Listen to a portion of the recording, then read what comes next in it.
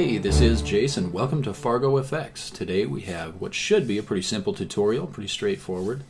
Uh, we're going to be downloading a program that I have used for many years. It's made my life a lot easier. It's called Paint.net. It's free software that's designed to help you edit photos and images. As an example, let's say I want to add some visual interest to a black and white image of Saturn. I could easily color the image and add stars with Paint.net. Or what if we took a family picture at Christmas and it's a great picture, but one of the kids has red eye? Not a problem. Well, let's say I'm surfing the web and I find a picture of an old steam engine and I think, you know, that would look really cool with some, add a little bit of film grain to it, maybe give it a sepia tone, and uh, just try to try to make it an old-fashioned look. Well, with Paint.net, I can easily do that. Now I want to show you how to download this. Uh, one good way that I've used before is to go to www.getpaint.net and they have instructions you can follow to get the free download. Now that's fine, there's nothing wrong with that. Um, but I am going to show you another way today, and that is to go to CNET, which is a great website. It has all kinds of downloads. Some of them you pay for, some you don't.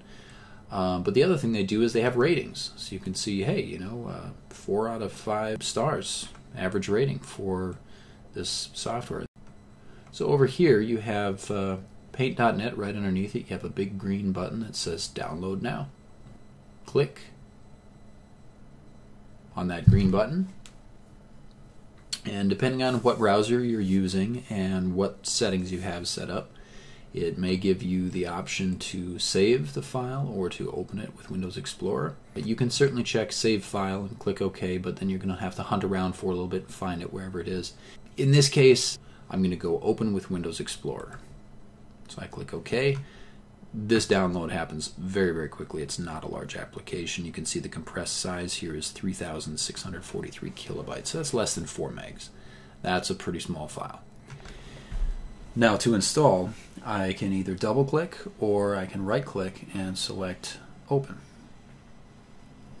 Now you have to be a little bit patient because it's going to think. Uh, depending on how you have security set up, you may get a warning that says, Do you want to allow the following program to make changes, so forth and so on? Yes, you do because you trust this program. You went to a reputable site to download it, and uh, there's no reason not to trust it. Now, you'll have two options click custom hit next. I have to say, if you want people to read your license agreement, make it nice and clean like this. I mean, this is great. So go ahead, read through the license agreement, click I agree, click next. So here's why we went with the custom install. I wanted to point out that you do have some options when you get to this page. Some of you probably will want to use Paint.net as your default editor. Uh, it's a personal preference. I have other software that I use for that. So if I'm doing this install, well, I'm going to uncheck these boxes. I can still launch Paint.net whenever I want to and use it to edit whatever I want to edit with it. It just doesn't make it the default editor. Another option on this page that I think is important to take a look at is the automatically check for updates feature. Most of the time, I get a piece of software, I want to be in total control of that, I'm going to uncheck that box.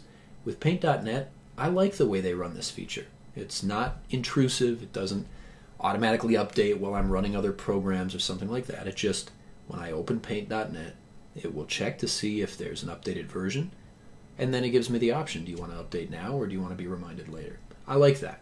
I think that's a pretty good feature. Create a shortcut on the desktop, you bet, and it's easy to find it. And, uh, and I would leave these unchecked. Click Next. Paint.net will be installed in the following folder. Well, why not? It looks like a good spot. There it'll be with the other program files. Next, the installer is ready to install. Click Next. Now this may take a minute or two.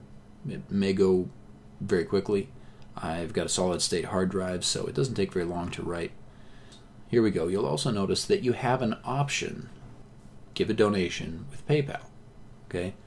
You're under no obligation to do this. This is free software, but I will say that if you can afford it, go ahead. You know, 20 bucks, even 10 bucks, 5 bucks. Think of it as, hey, this is a way that I can give back to this whole community that produces free stuff. In the case of paint.net, really cool, powerful, feature rich free stuff. And uh, I want to help them out. So, uh, otherwise, you're ready to go. If you uh, want to open up paint.net right away, then you can leave this box checked or you can uncheck it as you see fit and click finish. And there you are. That's what the interface looks like. It's remarkably simple to use. I think you'll get the hang of it pretty quickly.